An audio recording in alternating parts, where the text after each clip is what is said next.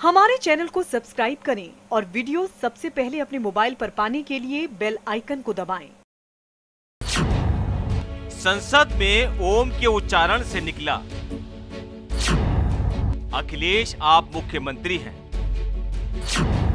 संसद में तू तू मैमे से सपा को मिला वरदान। ओम की जुबा पर आई सरस्वती।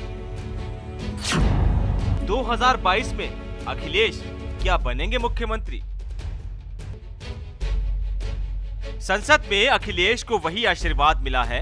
लोकसभा स्पीकर ओम बिरला की जुमा पर उसी सरस्वती का वास हुआ है, जो कभी उन दिनों इसी संसद में सपा संरक्षक मुलायम सिंह यादव की जुबा से निकली थी। उस वक्त जब निकली थी तो विपक्ष ने हास उपहास उड़ाए थे। मोदी सरकार के दूसरे कार्यकाल की कल्पना से भरे सपने को नकार दिया था। लेकिन हास विनोद के पल में मोदी शाह की जोड़ी को उनके दिल की बात छू गई थी। प्रधानमंत्री नरेंद्र मोदी को जब दूसरा कार्यकाल मिला तो उनके और अमित शाह के दिल में मुलायम सिंह यादव के लिए सम्मान और भी बढ़ गया। शायद दोनों मुलायम के उस आशीर्वाद की आस्था में डूबे होंगे, वैसे सम्मान की और वजह भी हो सकती है, लेकिन सम्मान तो सम्मान है। और जुबा से अचानक निकली बात की भी अपनी ही महत्ता होती है। इससे न सिर्फ़ राजनीति, राजनीतिक, बल्कि आम ज़िंदगी भी कभी न कभी दो चार तो होती ही है। खैर, ओम बिरला की ज़ुबान से अचानक निकली बात का क्या कनेक्शन है?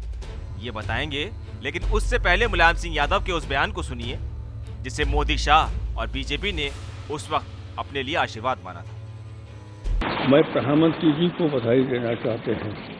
प्रधानमंत्री जी, आपने भी सबसे मिलजुल करके और सबका काम किया है। ये बात सपा संरक्षक मुलायम सिंह यादव की जुबा से तब निकली थी, जब मोदी सरकार अपने पहले कार्यकाल के आखिरी दौर में थी। अब जब उनके दूसरे कार्यकाल का आरंभ प्रारंभ प्रचंड बहुमत के साथ हो चुका है तो संसद के मानसून सत्र में फिर से वो सीन आँखों के सामने आ गया।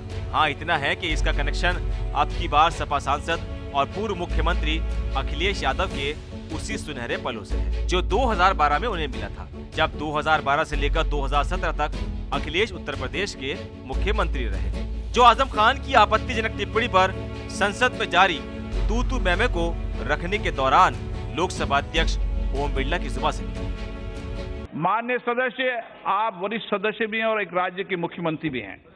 लेकिन रहे थे।